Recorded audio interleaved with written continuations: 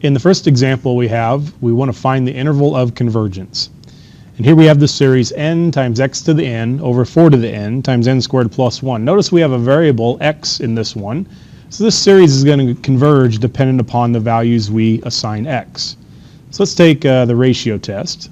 So we have the limit as n approaches infinity of the absolute value of the n plus 1th term. So we have n plus 1, x to the n plus 1, all over 4 to the n plus 1 times n plus 1 squared plus 1. Now normally we would divide by the nth term. We're still going to do that, but since, since this is a fraction, we're going to multiply by the reciprocal. So we have 4 to the n times n squared plus 1 over n times x to the n. And now we have the limit as n approaches infinity of the absolute value of, let's see, we have x to the n plus 1 over x to the n. So when we subtract, we're just going to have x on top. So we've taken care of the x's. How about the 4's? We have 4 to the n over 4 to the n plus 1. The n's will cancel, and we'll have a 4 in the denominator. And then all of the n's pretty much just stay the way they are. So we have n plus 1 times n squared plus 1 over n times n plus 1 squared plus 1. That's equal to the limit as n approaches infinity of just x over 4 times 1 because uh, we, we'll have an n to the third on the top, we'll have an n to the third on the bottom, and both of the coefficients will be 1. So now x over 4 needs to be less than 1 for this original series to converge. So we can write negative 1 is less than x is less than 1. Well, that's over 4 still. And then we multiply everybody by 4, and we get negative 4 less than x is less than 4. So there's the interval of convergence so far, but series can fail to converge at their endpoints. So now we have to check the endpoints. And we're going to start out by checking uh, the endpoint negative 4. So we have x equal to negative 4. And if we plug negative 4 into the original series, see if I can leave that up there, we have n equals 0 to infinity of n times four, uh, negative 4. Negative 4 to the n over 4 to the n times n squared plus 1.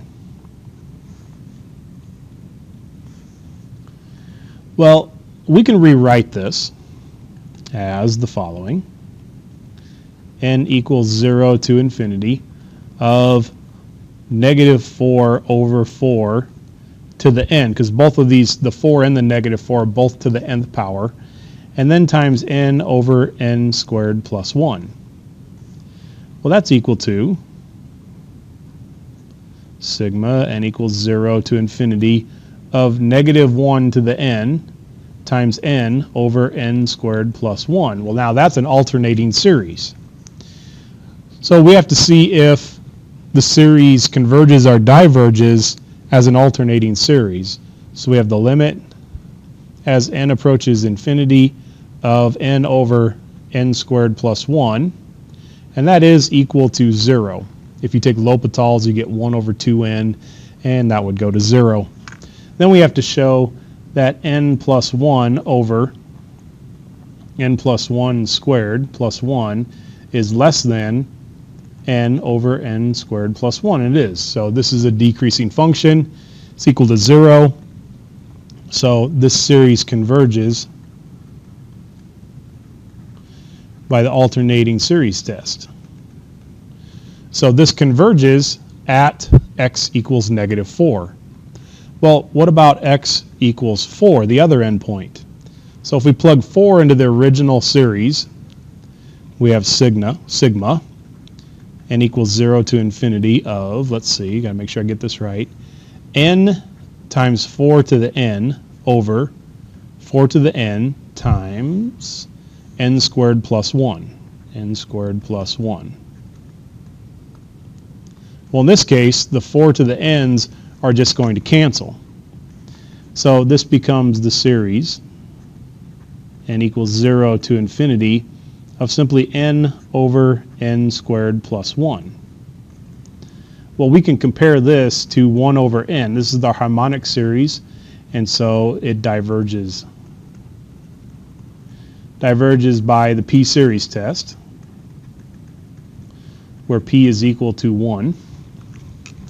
And then we take the limit as n approaches infinity of n over n squared plus 1 over 1 over n.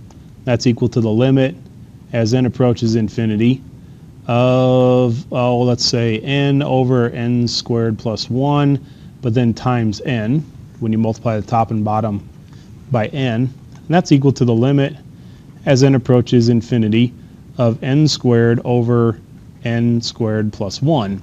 And that equals 1. So since it's finite and positive, the limit that is, the series diverges. I almost wrote converges. Diverges at x equals 4 by the limit comparison test. So what can we say about the interval of convergence? Let's sum this all up in a nice tidy package. The interval of convergence is going to be negative 4 to 4. We can include the negative 4, but we can't include the 4. If we look at back at what we've done at 4, uh, the series diverges, so we don't want to include the 4.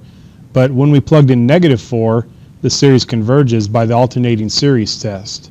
So we can say that the interval of convergence is negative 4 including negative 4 to 4. Now this series converges absolutely on negative 4 to 4. And that's what we found earlier. We took uh, the ratio test and the ratio test will be less than 1 as long as x is between negative 4 and 4. However, the series converges conditionally